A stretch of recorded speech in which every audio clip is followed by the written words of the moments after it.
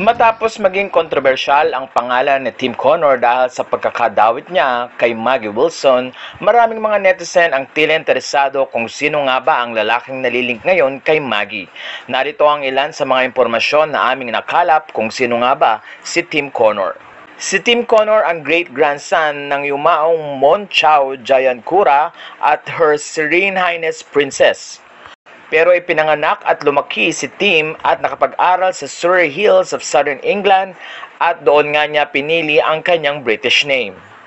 Hindi man natapos ni Tim ang kanyang kolehiyo dahil at the age of 17 ay iniwan nga niya ang pag-aaral sa college at nag-join nga siya sa Swiss Re na according sa mga website ay isang world largest reinsurer.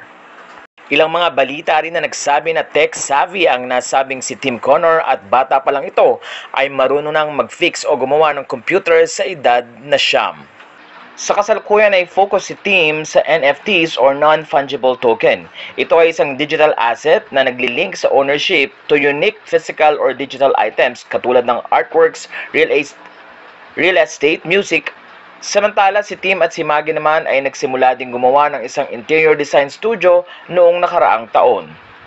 Kung tutuusin naman ay aabot sa 17 million dollars or 950 million pesos ang net worth ni Tim Connor. 34 years old pa lamang si Tim pero kilala na siyang digital entrepreneur at fitness buff. Marami nang humanga dahil seryoso ito sa pagtatrabaho dahil 7.30 pa lang ng umaga ay gising na siya para simulan ang kanyang pag-exercise at manatili ang kanyang magandang katawan. Kamakailan ay gumawa ng ingay si Tim Connor dahil sa photo na kanyang ibinahagi sa kanyang Instagram. Isang model na rin si Tim Connor dahil sa tindig na 6 feet.